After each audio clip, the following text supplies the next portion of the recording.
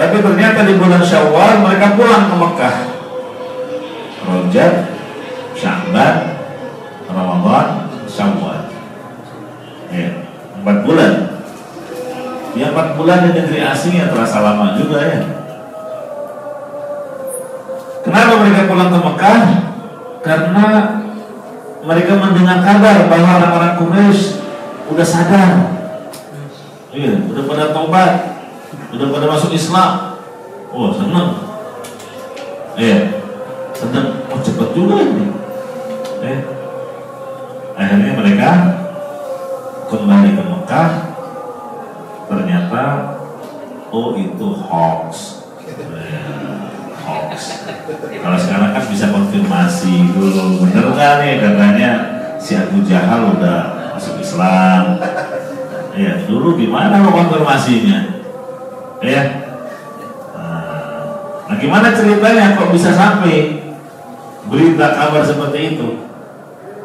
Jadi ada kisahnya ketika Nabi Shallallahu Alaihi Wasallam membaca surat An-Najm Kata Ibnu Abbas radhiyallahu anhu anna Nabi sallallahu alaihi wasallam sajada bin najmi wa sajada ma'ahu al-muslimun wal musyrikun wal jin wal ins Ketika Nabi wasallam membaca surat An-Najm itu kan luar biasa kalimat-kalimatnya dan orang Arab ketika itu kesukaan mereka apa? Syair dengan kata-kata. Banyak para pujangga dulu. Iya. Senang. Nah surat An-Najm itu luar biasa. Ya. Sampai pada ayat fasjudu lillahi wa'budu.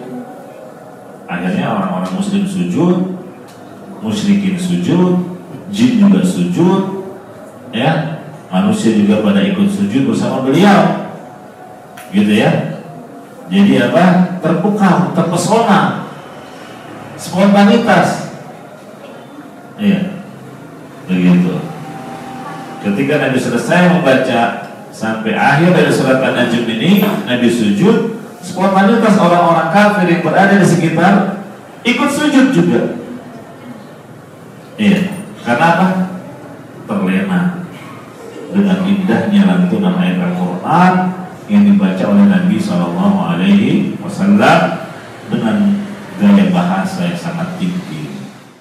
هذا صراط مستقيم